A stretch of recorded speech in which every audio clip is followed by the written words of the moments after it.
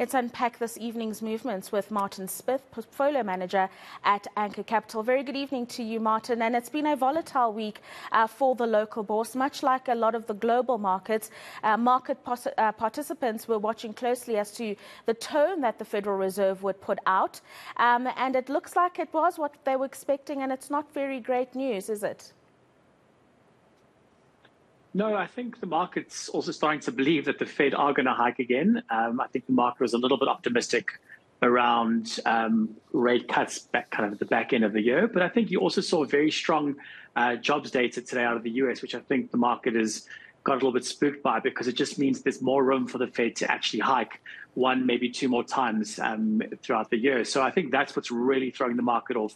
The Fed minutes a little bit, but it's more this jobs uh, this jobs data that came out a couple of hours ago. Mm, would you say that that's what contributed to the uh, rand weakness that we saw? I mean, it fell to 19 against the US dollar uh, during afternoon trade, and it's remained at those low levels.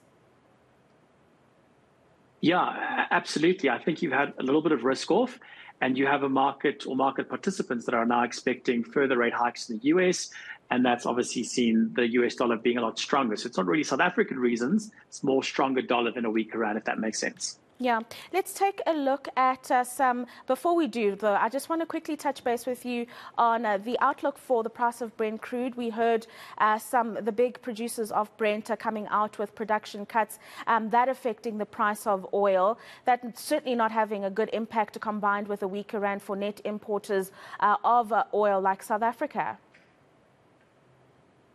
Yeah, absolutely. I think you've seen Brent being lower for longer this year, and I think that's been a kind of key thing that's been driving markets. But we think that Brent might pick its head up a little bit. Just obviously also depends on how we are from a recessionary perspective in the US, demand and the like. But I think from here you might see a slightly elevated Brent crude oil number. Mm. Let's speak about some company updates now. We've got Attacq.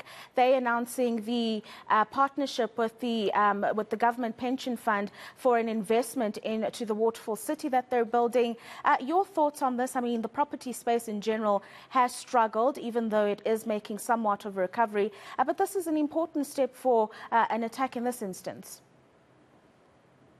No, absolutely. It's definitely an important um, bit of news. Look, it has been relatively known to the market that this deal is going to happen for the last six months or so. You've seen a slight adjustment to the price, but nothing material. But very positive for them. Um, it's going to pay down some of their debt. Their LTV is going to go lower. Also means they've got some more funding now to develop that waterfall node a bit more. So we think very, very positive for Attacq shareholders, and, and we still like the share. We've got a buy recommendation on it, but overall, yeah, very good piece of news that uh, will hopefully get fully finalized in a couple in, in a couple of weeks. Yeah, no, absolutely. And then just uh, maybe a final thought from you, Martin, if you will. Uh, just an outlook, a medium term outlook on the sector. We have had uh, some company updates out showing some improvements, uh, but still a little bit jittery when it comes to stability uh, because of the economic climate, one would say. Uh, but your view on the property space at the moment um, and what the listed companies are showing when it comes to their operations here?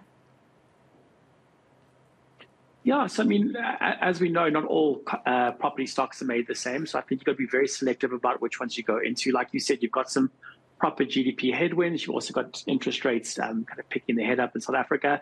So again, it is a bit tricky, but certain stocks with offshore exposure um, are probably the ones you need to look for. And you also need to look for ones that are giving you a very decent yield. And there are opportunities out there, but I think being selective and finding ones where you can get a good deal, I think, is the right thing to do. And uh, I think Attacq is definitely one of those. Mm, thank you very much, uh, Martin Smith, uh, for that uh, update. Uh, he's a portfolio manager at Anchor Capital, joining us uh, to wrap up the market day that was today.